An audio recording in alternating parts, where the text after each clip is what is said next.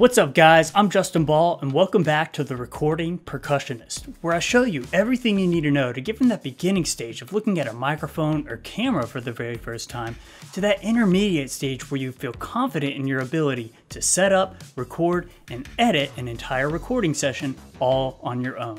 So you've got your mic set up, your audio interface hooked up, and communicating successfully with your computer and digital audio workstation. And today, I'm going to show you how to record single and multi-track sessions in Adobe Audition. Let's do this. For future reference, I'm using Adobe Audition version 14.2. Assuming you've already got it downloaded, smash Ctrl Shift N to bring up a new audio file. Give it a name and set your sample rate to align with your audio hardware preferences that we set up previously. Remember that if we're recording a single track, we'll be recording in mono, and as discussed in the audio interface video, we'll be recording at 24-bit. Click OK and hit Shift Spacebar to start recording. Tap on your microphone lightly, and if you see the waveforms popping up and down in your session, congrats, you're officially recording sound. You can stop the recording by hitting spacebar and play it back using spacebar. If you don't like what you're hearing, hit delete. If you want to pause the recording, use Shift Control Spacebar and use the same combination to resume the recording. We'll use this a lot more later on, but for now, let's just focus on recording sound, or sounds. If you're using two or more microphones, you'll want to start a multi-track session using Control N. The only difference here is that you'll be setting the mix to stereo, which again means more than one channel, which will be panning left and right here in a second. Alright, so this is what a multi-track session looks like. Everything you see here is called a workspace.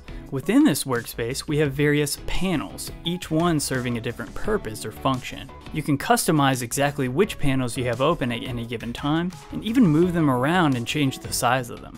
If you come up to Window, you can see all of the various panels available to you and customize which ones you want to have on or off. For a multi-track session, I typically have the editor, Files, and Markers tabs open, because those are the three I'll be using the most consistently.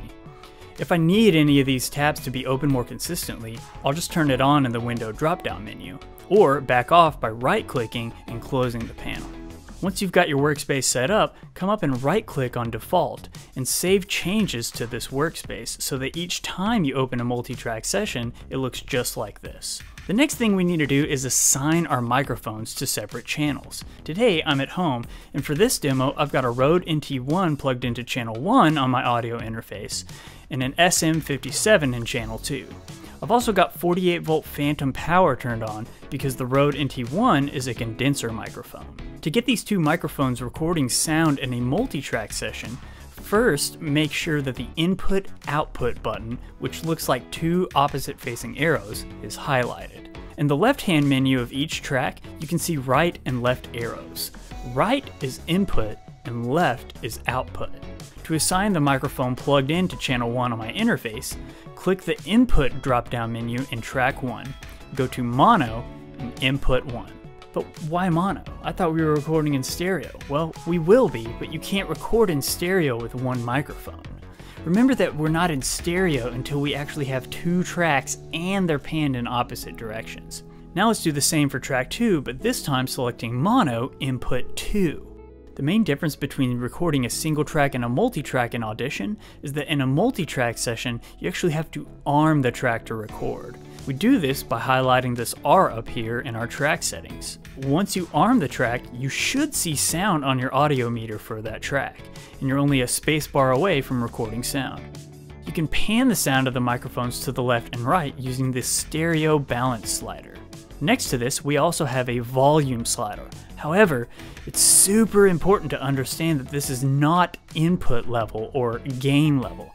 Gain refers to input, and in the case of microphones, is adjusted on the audio interface using the preamp knobs or some sort of external mixing application. Volume refers to output, or how strong the signal being played back is. You can see that as I adjust the volume when recording, it's not changing anything. However, after I've recorded sound and am playing it back, it does change the level of it. So, input versus output, very important and that is Adobe Audition.